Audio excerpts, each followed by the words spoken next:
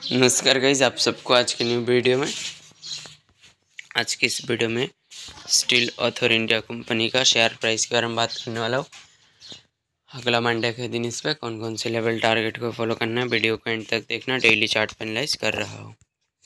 तो अगर daily chart पे देखा जाए स्टॉक यहाँ से डाउन गया, फिर ऊपर, फिर डाउन फिर थोड़ा सा ऊपर गया था। इसका जो अभी काफ़ी स्ट्रॉन्ग सबसे पहला सपोर्ट देखने को मिल रहा है। हम्म। Eighty two point sixty five, जो कि इसका सपोर्ट है सबसे पहला। अगर पहला रेजिस्टेंस देखे, जो कि देखने को मिल रहा है, एट्टी फाइव पॉइंट सेवेंटी पर।